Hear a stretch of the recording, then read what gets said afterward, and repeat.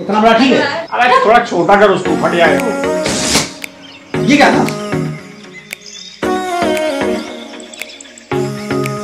तो कल का वीडियो हो चुका है एडिट और लड़का आज नया वीडियो शुरू कर रहा है। तो हमारी माता जी ने बनाए हैं ढोकले। हमारी बहन के जन्मदिन के अवसर पर। पर ये थोड़ा सा कुछ कमी है। क्या दिक्कत क्या है इसमें? मम्मी क्या हुआ ये? ये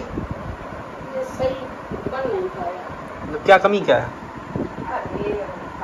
में अधूरा अधूरा सा लग रहा है। तो हमारी बहन का जन्मदिन है उपलक्ष्य में बने हैं। ढोकले बाकी आप लोग भी खाओ।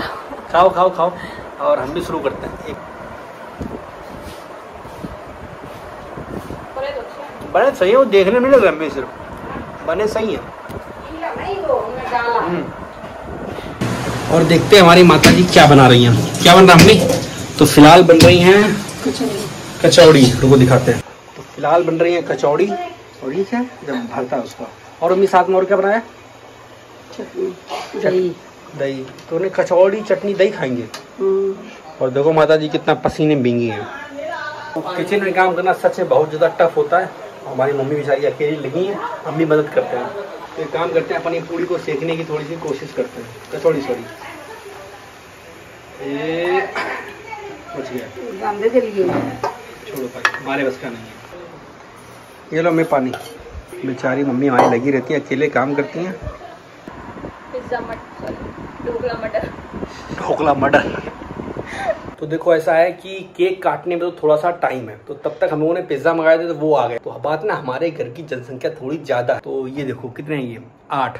आठ डब्बे हैं और ये जोमेटो के नहीं जोमेटो बोल रहे हैं। ये उसके नहीं है डोमिनोज के नहीं है। क्योंकि हमारे घर की जो लोकेशन है वहाँ पे डोमिनोज डिलीवरी करता नहीं है। इससे जो समझना समझ लो, पर वो डिलीवरी नहीं करता। ठीक है तो काम करते हैं, फटाफट सबको बुलाते हैं और खाते पीते हैं, खत्म करते हो। पिज़्ज़ा में बहुत ज़्यादा पसंद है मतलब बहुत ज़्यादा। ठीक है तो काम करते हैं, बिल्कुल भी ठंडा नहीं करेंगे। फटाफट सबको बुला के ख़त्म करते हैं।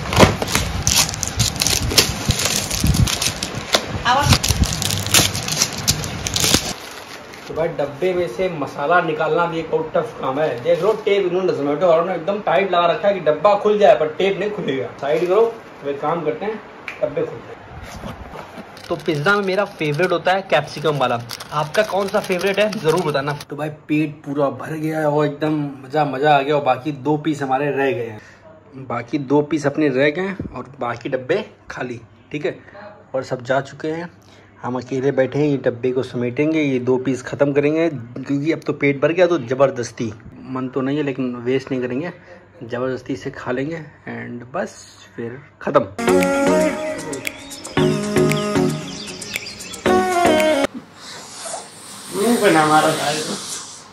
इतना बड़ा ठीक है? अरे थोड़ा छोटा कर उसको फट जाएगा। हाँ छोटा कर देखिए ये बड़ा है। तो हमने बहुत बड़ा गुब्बारा फुला लिया है। और हम जीत गए हैं। वैसे पहले प्लान नहीं था गुब्बारे फुलाने का लेकिन फिर अचानक से प्लान बना। कितना मारा ये भी डालना। अरे पंखा चला चले पकड़ पकड़ पकड़ पकड़ फ़िलहाल हम तीन तीन गुब्बारे के मालिक हो चुके हैं। पता है गुब्बारा फुलाना तो आसान काम है पर उसे बांधना बांधना बहुत काम है। ये आत्मा आ गई है इनको। ये गुब्बारों में। नीचे नीचे नीचे रहो नीचे रहो। भाई। मारो। ये क्या था? इनके अंदर भी आत्मा आ जाती है। तो देखो बात ऐसी है कि हम लोगों ने बहुत जद्दोजहद की बहुत मेहनत की बहुत कुछ किया गुब्बारे को फुलाने में।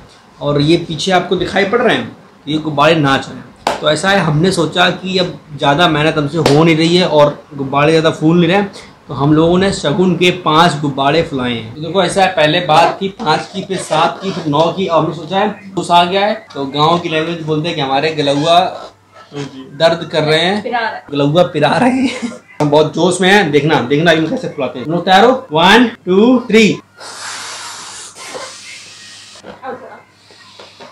देखो एक अच्छा गुब्बारा फुलाने के लिए सबसे पहले आपको चाहिए गुब्बारा। उसके बाद उसे ऐसे ऐसे खींचिए इससे गुब्बारे की फ्लेक्सिबिलिटी बढ़ती है।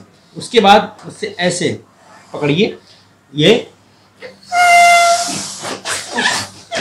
ऐसी आवाज़ भी आ सकती है। फिर उसे अपनी ज़िंदगी का आखिरी गुब्बारा समझ के फुलाइए एक्सरसाइज नहीं तो ऐसे भी कर सकते हैं आप। देखो, गुब्बारा फुलाना एक आर्ट है, और हम लोग थोड़ी देर में गुब्बारे फुलाने के आर्टिस्ट बन चुके हैं। हमारे पास ये मशीन भी है जिससे गुब्बारा हम फुला सकते हैं, लेकिन इसमें लगाते ही पता नहीं क्या ये गुब्बारे फूट जा रहे थे तो इससे काम चला नहीं। और ये है अपने सिस्टर का केक। और हम कभी भी केक पे नाम नहीं लिखवाते क्योंकि हमें नाम काटना अच्छा नहीं लगता। तो अब सबसे टफ काम है ये मोमबत्ती को इसमें लगाना। अमन लगाओ कैंडल जरा। कैंडल लगाना ही सबसे टफ काम होता है कि केक की शोभा बिगड़ ना जाए कहीं। हाँ भाई शुरू करो। कुछ सर पर डाल लेती? तो पूजा पाठ का कार्यक्रम। नहीं हैप्पी अच्छा केक होता ये मुझे अरे मम्मी बर्थडे उसका है।